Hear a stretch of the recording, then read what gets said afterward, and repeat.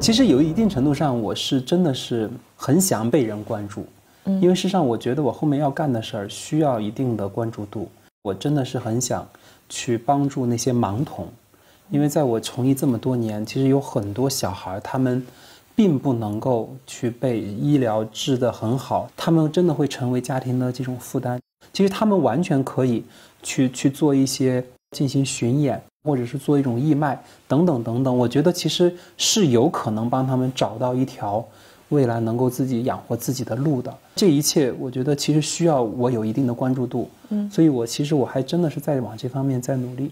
我觉得能够拥抱这个时代，能够愿意去被关注，这是一种能力。因为很多时候关注太多，其实挺让人心生恐惧的。你会有一点点紧张吗？小兴奋，同时没有紧张，那你心态无比之无比之健康。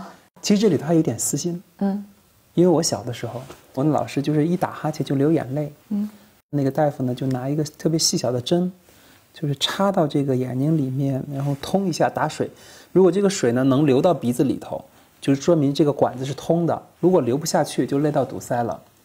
当时我也就是六七岁的样子，身边其实还有些大人，一看见拿着针过来了就害怕，我一点都没害怕。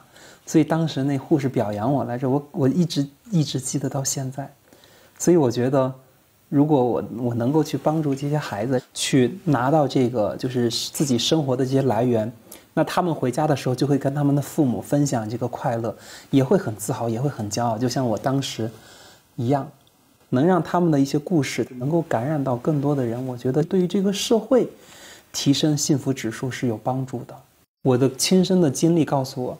其实不是说视力越好的人就越幸福，视力越不好的人就越不幸福，常常是这样的，很有意思。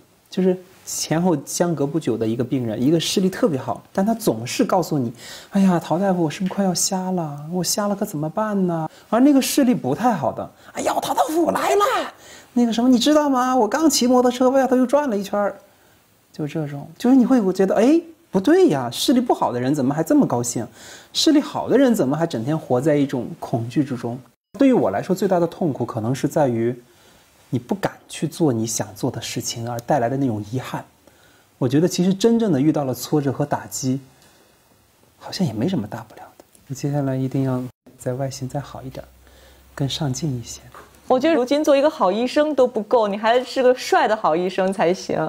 我太难了。那必须得表里如一，然后你才有可能有更多的关注度，才有可能能够去做一些更需要影响力做的事儿。